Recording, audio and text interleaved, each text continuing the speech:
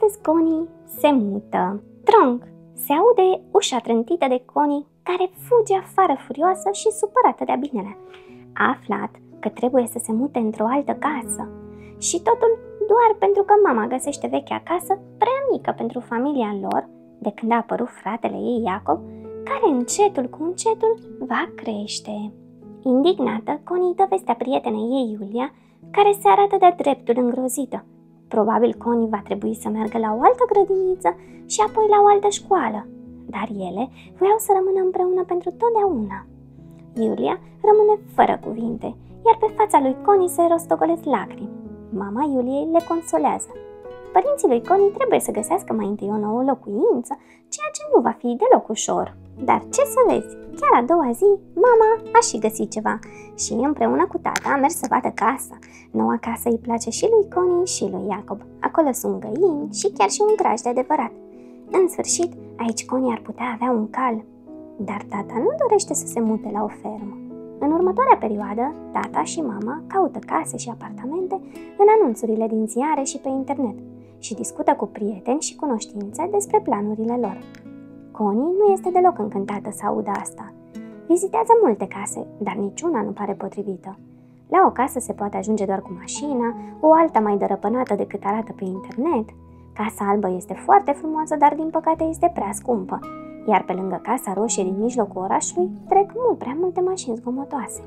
La fiecare locuință care pare a fi potrivită sunt o mulțime de doritori să o viziteze, iar părinții lui Connie nu doresc să-și piardă timpul stând la cozi interminabile.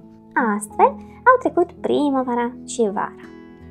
Programările pentru vizitare sunt tot mai rare și în cele din urmă încetează. Connie merge împreună cu Iulia la școală și e fericită. Ea speră că tata și mama s-au răzgândit și nu-și mai doresc să se mute. Dar apoi, tata află de la un prieten că părinții acestuia doresc să-și închirieze casa sau să o vândă unei familii tinere. Casa este așa cum își doresc părinții lui Connie. Nu este prea scumpă și are grădină mare. Merg imediat să o vadă.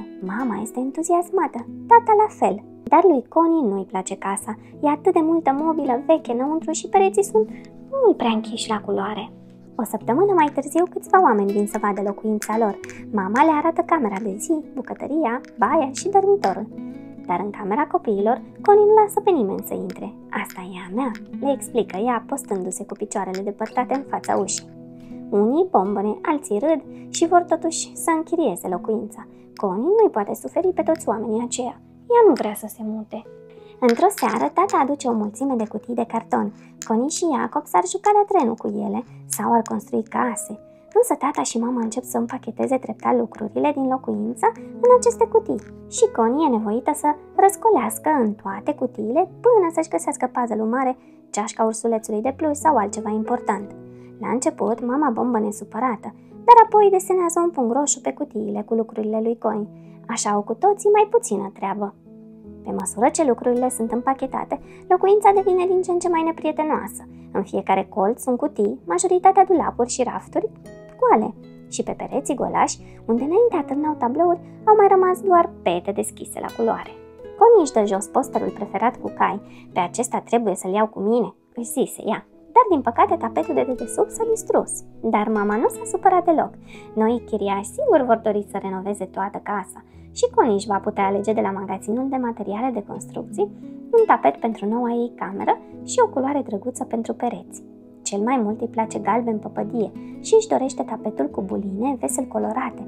Tata și mama mai caută vopsele și tapete pentru restul camerelor din noua casă și cumpără și pensule, trafalete, adezivi și multe altele. La sfârșit de săptămână, în casa nouă se zugrăvește și se pune tapet. Toată lumea ajută, tata și mama, bunicul și bunica, unchiul Andrei, unchiul George și mătușa Simina. Connie alergă prin toată casa goală și strigă tare. Bună! pentru că răsună atât de frumos din cauza încăperilor goale, apoi ajută la încleiat. E foarte distractiv. Connie încleiază încântată până când se umple și ea de lipici, la fel ca tapetul. Apoi merge la baie să se spele.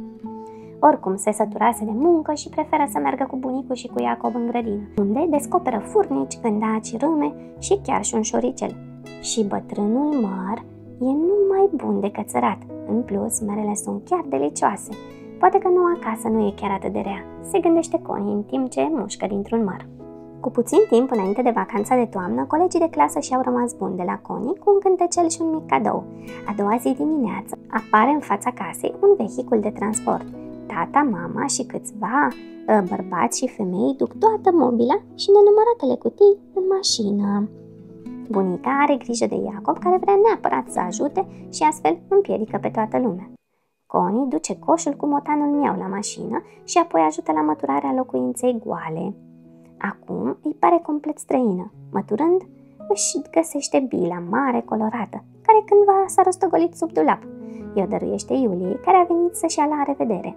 Familia și-a rămas bun de la vecini. Connie le face cu mâna încă multă vreme din mașină. Iulia îi face cu mâna înapoi, până când mașina dispare după colț. La noua casă sunt descărcate toate lucrurile. Cu toții sunt transpirați, tata oftează și mama are obrajii roșii de la agitație. Connie are grijă de cutiile marcate cu un punct roșu. Acestea trebuie să ajungă în camera ei. În pauza de prânz le este livrată pizza. Toată lumea stă pe lăzi și scaune la masa de bucătărie și mănâncă pizza cu mâna.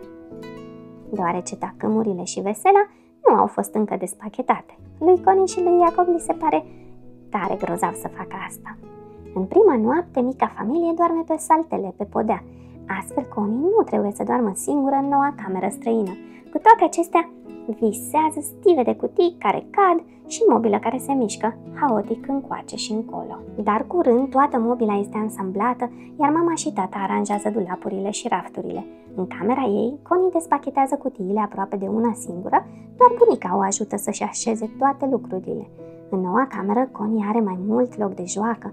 Pe măsură ce lucrurile ei sunt puse în dulap la locul lor, camera devine mult mai drăguță decât cea veche și atât de confortabilă. Motanul meu, care se încolăcește pe pat, este de aceeași părere. Connie ar dori acum să exploreze împrejurimile și face o plimbare cu bunica și cu Iacob.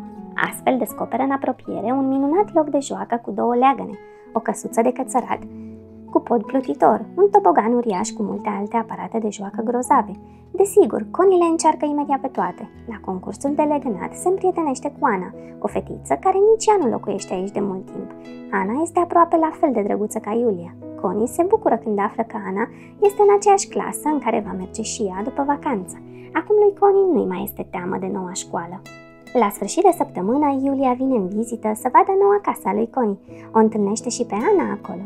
Connie e foarte mândră de noua ei casă și în special de camera ei. După ce au vizitat casa, fetele se cațără împreună în mărul lui Connie și gustă din delicioasele sale mere.